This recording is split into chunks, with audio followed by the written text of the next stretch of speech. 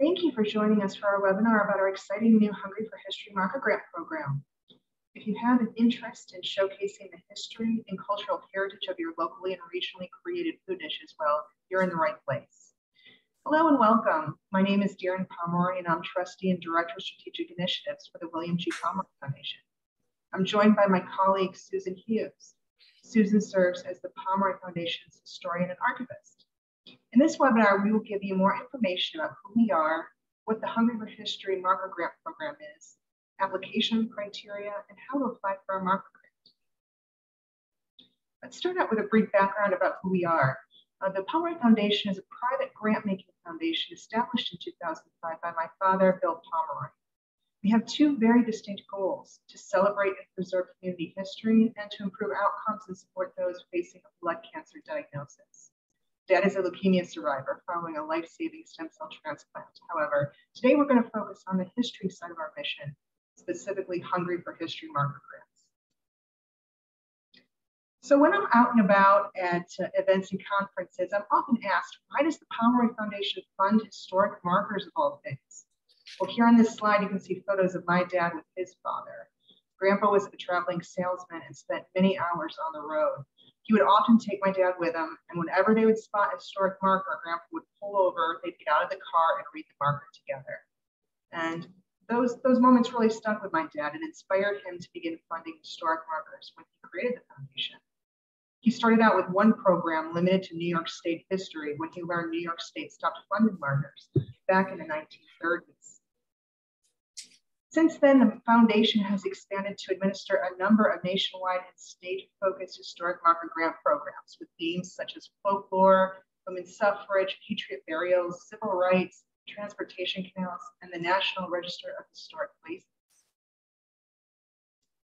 As a national funder of historic roadside markers, the foundation has awarded nearly 1,700 grants for markers and bronze plaques across 42 states, all the way to Alaska. So how can historic markers benefit your community? Well, first, they help preserve important community history and at the same time help generate and promote historic tourism and economic development. They also enhance the pride of place for local residents. And finally, there are educational and cultural benefits to tell those often forgotten stories. Now let's talk about Hungry for History. Now here you see the style of the marker you will receive if your grant application is approved. As you can see, the program logo crowns the top of the marker and the colors are black with white raised lettering and yellow lettering for the title and credit lines. The rectangular marker is approximately three feet by two feet. Now that's not counting the logo and mounting base, which adds another few inches. The marker is cast aluminum and weighs about 40 pounds. Our grants provide funding for the marker, the seven foot aluminum pole, and shipping to your location. Now it's time to turn it over to my colleague Susan to talk about the general eligibility guidelines and application process, as well as the requirement for primary source documentation. Thank you, Darren. Let's start by answering this question. Am I eligible for a Pomeroy Foundation grant? Hungry for History Marker grants are available to 501c3 organizations nonprofit academic institutions, and local, state, and federal government entities within the United States. This will include your village, town, city, and other municipalities. If you aren't affiliated with one of these types of organizations, it doesn't mean you can't get involved. One way you can is to contact an eligible local organization, historical society, or community with a municipal historian. These historical organizations will often apply for the grant on behalf of the individual. So let's take a look at the criteria for Hungry for History markers. All grant applications for the program will have to meet the following guidelines. It must be a prepared, ready to eat dish, such as an entree or dessert. It must contain a minimum of two ingredients. Note that in the application, we will ask you to list out all the ingredients included in creating the dish. The dish or a unique variation of it must have been created in the local or regional community where the marker will be placed. This slide shows beef on weck and Michigan hot dogs, which are examples from the program's first grant round in 2021 that now have their own Hungry for History markers. Our guidelines require the dish to be created before 1960, and it must be significant to the greater community or beyond. It must still be available or eaten today in some form. So this slide also shows three additional qualifying food examples from our first Hungry for History grant round. Now, we don't allow brand names. This slide shows a few examples of what wouldn't qualify, such as DiGiorno or Hershey's or Kraft.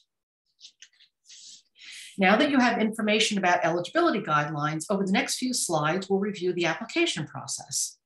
First, identify a prepared food dish that would be appropriate based on the criteria and guidelines.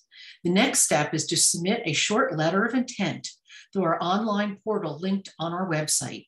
And the last step is completing the online application.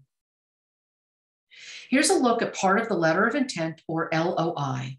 To complete the LOI, you will provide your proposed marker inscription. All five body lines of the marker must be utilized in addition to a title line.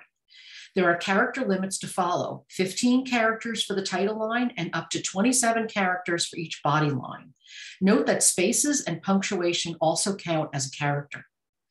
In addition to the proposed inscription, we require a complete detailed list of the primary source documentation you intend to provide in the application stage to verify the text on your proposed inscription. The letter of intent is submitted through our online application portal on our website. In the Hungry for History Marker program, we require primary source documentation as part of the application process. We made a commitment to grant applicants and the public at large that if a historic marker is funded by the William G. Pomeroy Foundation, then they can be absolutely assured that the facts presented are indisputable today and into the future. And that's a promise we can only keep by having primary source documentation on file to support the text on the marker. Pomeroy Foundation markers are well researched with primary sources reviewed by historians. That's what sets your marker apart. You know you are obtaining the gold standard of historic markers. They will stand the test of time for future generations. The marker inscription cannot be based on secondary sources, and there's a big difference. Wikipedia, well, that won't work.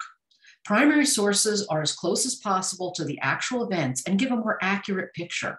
Primary sources are often the most direct, the most certain, and the least filtered sources of data.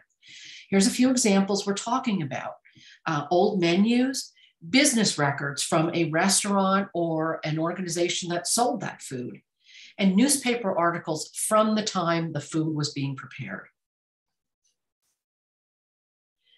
We try very hard to work with our grant applicants so that you are successful. We don't just deny an application. We will suggest changes to the marker text. We'll try to help you find additional primary sources if needed, and so on. Upon approval of your submitted LOI, you will receive email notification and be invited to complete a full application online. On the application portal webpage, you will select the Hungry for History Marker Grant Program when you're approved and ready to apply. As part of your application, you will need to upload or mail in the primary source documents listed in the LOI.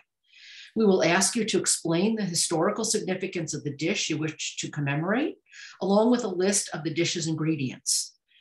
We will want to know what you intend, where you intend to place the marker, including GPS coordinates, and why this location makes sense. Please note that for this marker program, it may not be feasible to place the marker in a location specifically relevant to the dish. In these cases, we recommend you consider a public park, a town square, or some other area with a good amount of foot traffic, and a place for cars to safely pull over and park so they can read the marker. Speaking of location, I would like to highlight the very important document required in the application, and that's the land use permission letter. Generally, this is a simple letter that verifies your organization has permission to install a marker on the property of the landowner. The letter is part of the application and it must be submitted before the application is considered complete and ready for review. One of the questions we get a lot about the land use letter is if the applying organization owns the property where they want to put the marker, do they need to submit a permission letter? The answer is yes. We need one signed by whoever has the authority to say that you can put it there, such as the board president, the executive director, or another figure in authority. If you don't know who owns the property, you may need to go to the municipality's office to confirm it. And if it's owned by the municipality, any authorized person can sign the letter. We ask that it's on official letterhead. Now I'm going to turn it back over to Darren. All right, thanks, Susan. All of the important dates for both Hungry for History grant rounds in 2022 are listed here, and they can also be found on the Hungry for History uh, webpage of the Foundation website. Remember that you will need to submit the LOI by the LOI deadline in order to receive approval to access the full application. And now for the best part. Once your marker is granted, it's time to celebrate. So, and please let us know about your plans to install the marker and if you decide to hold a dedication ceremony. Uh, we really love dedication ceremonies. And while they're not a requirement of our grant programs, marker unveilings often are held to bring people together to recognize the history being commemorated and the efforts of those who applied for the marker. Dedications can include speeches from local and regional politicians, along with live musical performances, historical reenactments, ribbon cuttings, history talks, and even parades. Uh, whether large or small, dedication ceremonies are great for community pride and generate interest in local history. We're also proud of the local and national news coverage received by our marker programs and grant recipients. That includes TV coverage, news stories, podcasts, and more. I also want to share with you a great resource you can find on our website right now, our interactive digital map. The map illustrates where Pomeroy funded markers are located across the country and also provides additional information about each marker's subject matter.